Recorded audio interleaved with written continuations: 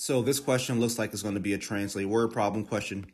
I say that because it is greater than four lines long. Um, what that means for us, though, is that we want to read it one sentence at a time, making sure to stop and translate the information before moving on to the next sentence.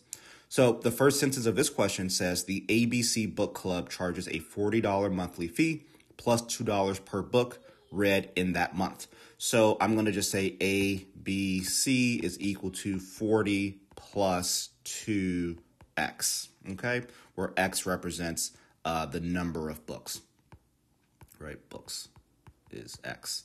And ABC obviously is a club, and this is all, you know, charges, right? So $40 and $2 times x.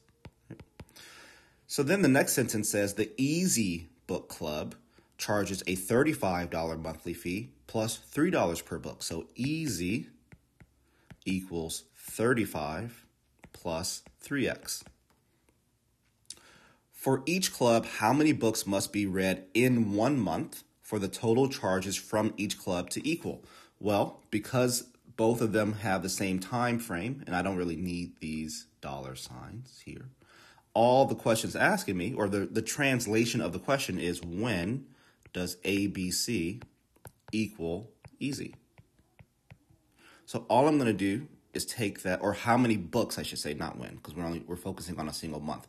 How many books does it take for ABC to equal easy? Well, let's see. I know that ABC's charges for the month are 40 plus 2x. So I need that to equal easy's charges for the month, which are 35, or which is 35 plus 3x. So there's my equation. There's the translation of everything that I read. Here's the equation that will help me to solve the, the question. So now I'm just going to do some algebra and combine like terms. Subtract 2x from both sides. You could have done this reverse, by the way. Could have moved your x's to the left, which most students prefer. Um, it doesn't really matter. So this is gone. 40 minus 35 is 5 equals, this is gone, and 3x minus 2x is x, and therefore the number of books that will be required for both clubs to have an equal monthly fee is 5 books, and our answer is therefore choice H.